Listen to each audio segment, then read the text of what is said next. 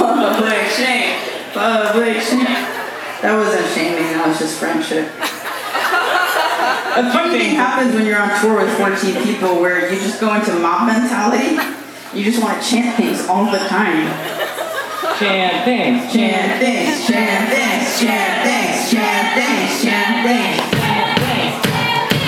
Is anybody in love?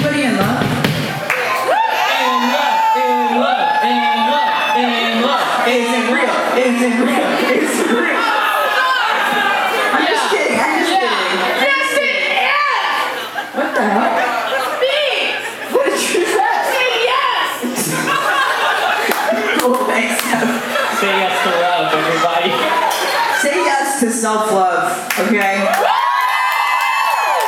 And if you can't say yes to that, then say yes to Netflix. say yes to SSRIs. Say yes to Kim Hertz, your therapist, okay?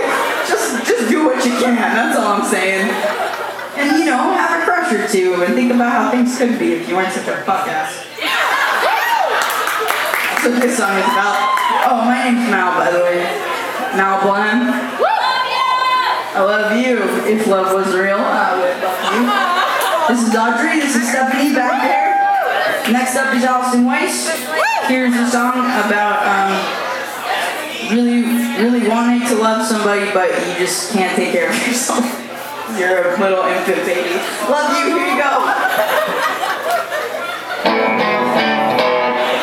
So it's a charming